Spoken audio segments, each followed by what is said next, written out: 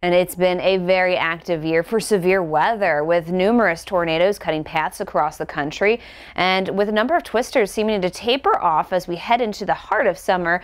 The amount of thunderstorm activity, it's still found out there. Bernie Rayno is back with a look at why that is.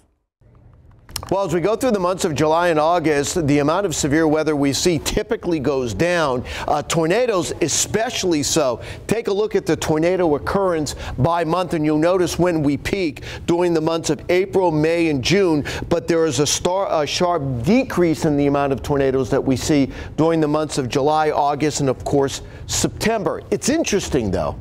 While tornadoes decrease as we go through the summer, the amount of thunderstorms start to increase.